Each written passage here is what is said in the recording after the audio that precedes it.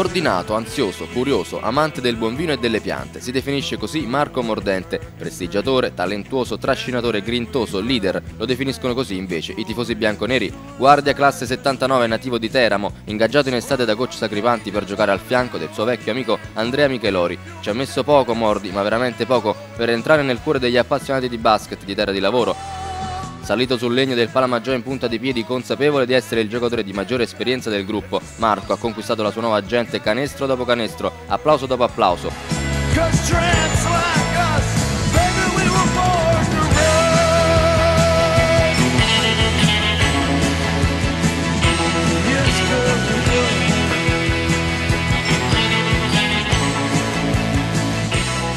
In coppia con Gentile ha guidato diverse vittorie bianconere, lui che doveva essere un giocatore da panchina, un cecchino da inserire per l'occasione, si è rivelato punto fermo della formazione di Pezza delle Noci. Nell'ultima trasferta dell'anno a Sassari è stato impiegato per 35 minuti sui 40 totali, altro che pedina di ripiego.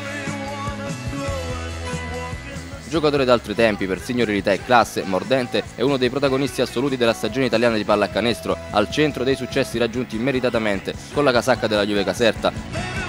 Le sue doti umane hanno rapito per primo proprio coach Sacripanti che ne ha modificato in parte le caratteristiche per adattarlo ad un nuovo contesto. Anima da guerriero, dentro e fuori dal campo, mordente e ormai un casertano acquisito, poco importa se in passato ha indossato qualche maglia poco gradita nelle nostre zone.